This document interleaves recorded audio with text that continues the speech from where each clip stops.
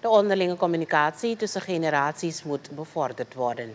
Dit zal helpen om de naleving van mensenrechten te bevorderen binnen de gemeenschap, zegt Irma Lumbang Tobin Klein, een van de inleiders bij een workshop in verband met de universele verklaring voor de rechten van de mens en aanverwante onderwerpen vandaag.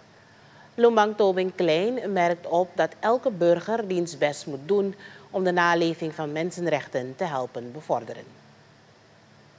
Er gebeurt veel wat niet klopt. We mogen het niet verdoezelen.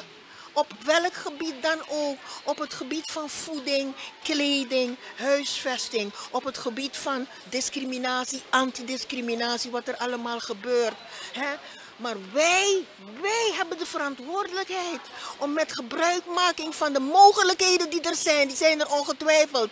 En wij leven in een sorry mi wan kondre mooi so te so, peso men culture kona wan. La la la la la, la la la la la, kondre no wang. Na sweet, seranang met jou, met jou, met jou, wij allemaal. Lumbang Towing Klein zegt dat kinderen uit verschillende districten hebben getekend in verband met vandaag, 10 december, de dag van de vrijheid, internationale dag van mensenrechten. Verschillende organisaties verbonden aan Vrouwencentrum Suriname hebben een bijdrage geleverd aan de workshop. De onderwerpen bij de activiteit waren mensenrechten en onafhankelijkheid de aanname van de grondwet 19 november en de Surinaamse onafhankelijkheid 25 november.